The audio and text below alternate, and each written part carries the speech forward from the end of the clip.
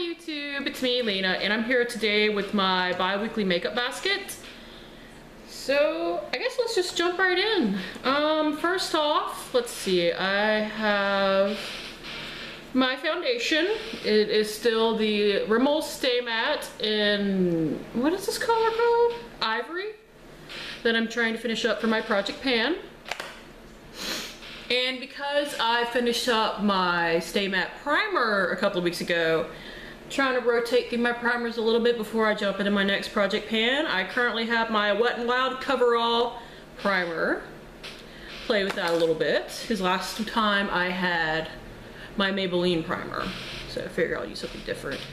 Have the same old concealer. It is the Revlon Foundation, the Revlon the Revlon Photo Ready Concealer in 003 Light Medium That's all I have left of it. And for my eyes, or for my under eyes, I have the e.l.f. HD Lifting Concealer in Fair that I popped the stopper out of. And I think I may have done it a little too soon because I had a lot more product in there than I initially thought. But it is what it is, and it's still totally usable, so I'm not too worried about it. And I no longer have an eye brightener because it's all gone. I finished it today. So no eye brightener. Another thing that I finished today was my Temptu S slash B highlighter. I can't actually get any more out of it. That I replaced though because I still had something else that I could use. This is actually going to be in my next project pan, but I figured I'd go ahead and get started on it. It is the Buxom Divine Goddess Luminizer. Where's the color? It's written in silver. I can't read it. I don't know. Maybe it's Divine Goddess. I don't know. This is it. Let me give you a little swatch of it. Ooh, that's a kind of a big swatch. But we, we shall do what we can. This is definitely just nice and glowy. I tend to mix these in with my primers or my foundations if the particular primer I'm using doesn't quite work for it. Speaking of moisturizers, I meant to say moisturizer instead of foundation. Uh, I will show you my moisturizer I'm using right now. It is the Neutrogena Oil Free Moisture with Sunscreen, SPF 35. Please guys, remember your sunscreen, especially during the summer, but year round, you should. Anyways, got my powder. It is the Revlon Nearly Naked. You see that big old fat pan right there and how all the writing has rubbed off. Also have my setting spray. It is the Hard Candy Fast and Fabulous. The stuff is amazing. I did a quickie review on Instagram and other, it smells horrible, so hold your breath when you spray it on you. But it will lock your makeup in place. This stuff is so amazing. It's only like $6 at Walmart. If you got a Walmart near you, go get it, because hard candy is also cruelty free, which is always, you know, yay. Let's see, let's do eyebrows next. I'm currently using the Cella Tantalizing Taupe Eyebrow Pencil that I got in my Ipsy bag. It is a pretty close color match for me, so it's totally usable. There's a swatch right there. And with that, I am using my Maybelline Brow Drama in Soft Brown. Just trying to get that used up, because it's fine. I like it for what it is. Eye base, I used up my NARS uh, primer, eye primer, so now I'm currently using my Urban Decay eyeshadow primer potion in Eden, my full size of it that my sister gave me. I had an incident on camera with this where I squirted it out and nothing but oil came out, but I haven't had that happen since, so I guess it was just sitting for too long, which happens sometimes. Um, what do I want to do next? Let's do eyes next. Um, I just did my pri eye primer, so that makes sense. I have two bases in here. I have my Jordana 12 Hour Made to Last Pencil in Eternal White. And I have my uh, Maybelline Color Tattoo in Bold Gold, and that is a swatch of it right there. I'm actually wearing the Bold Gold right now with the light bronze from the Lorac Pro Palette. Speaking of, I do have my Lorac Pro Palette right here in all its, you know, dirty, grody glory. And as for other shadows to mix in, I'm really, I'm really craving some color this week.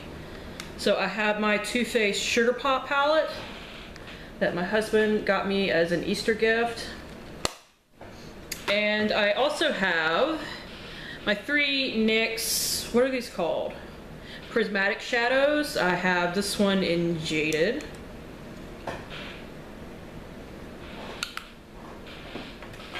Which, that one's not super colorful, but, you know, I just grabbed all of them.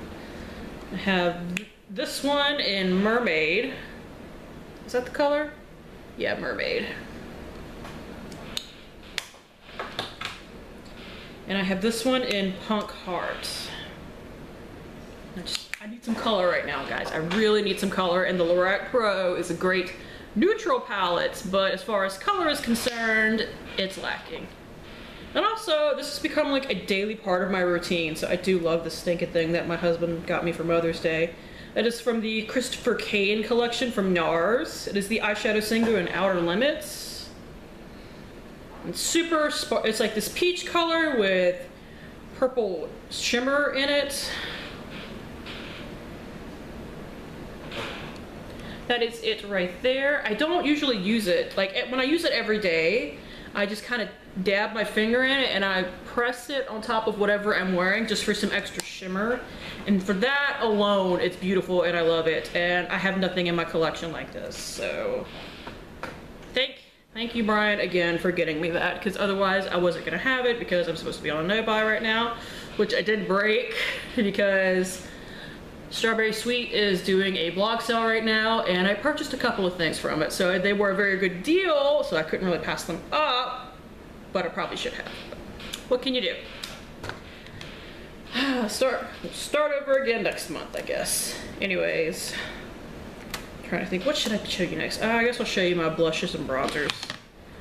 Uh, for a bronzer, I this week I had my Tarte The Sculptor for contouring. Oops.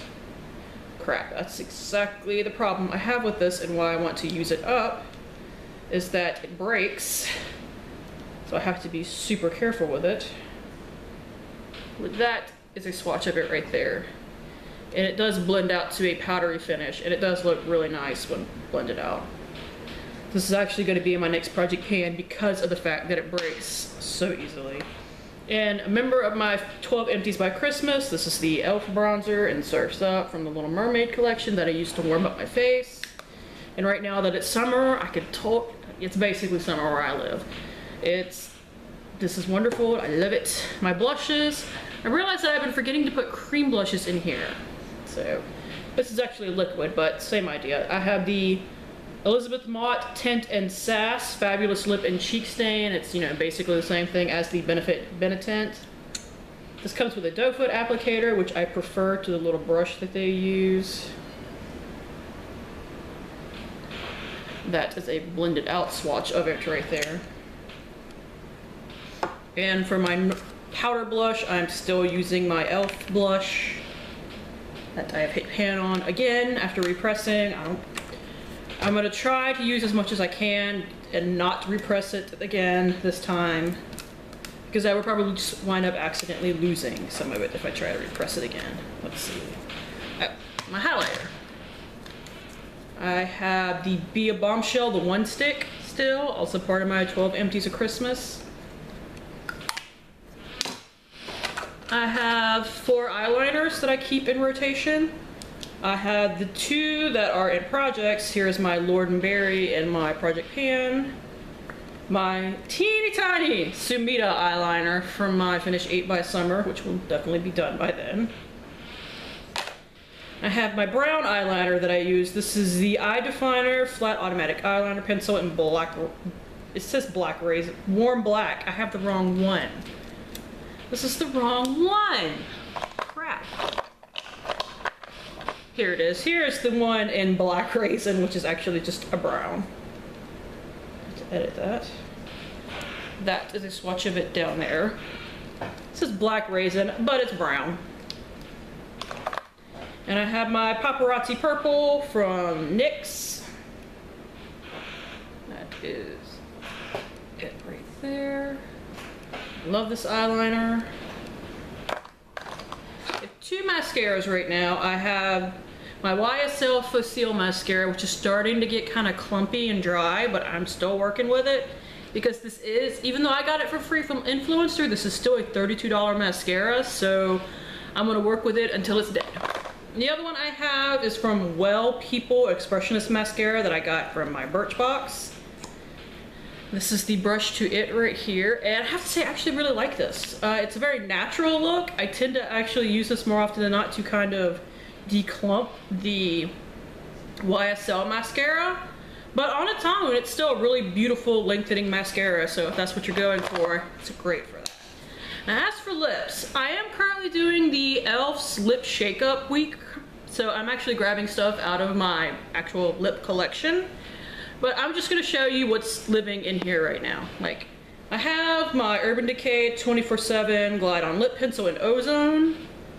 That is part of my 12 Empties of Christmas. It's going really quick. Like, this thing is super soft. I use this in like three uses and have to sharpen it again. So, while this is a really good lip primer, I don't think it's worth the money of like 16 to $20 for it to go as quick as it does. Still a good product. I have one lip gloss. It is my e.l.f. Hyper Shine lip gloss. Also a part of the 12 Empties of Christmas, along with two of these three lipsticks. One is the MAC lipstick in Plumful. Here, I'll give you a swatch. These kind of live in here. I'm not necessarily using, I'm not actually not really using the MAC one right now.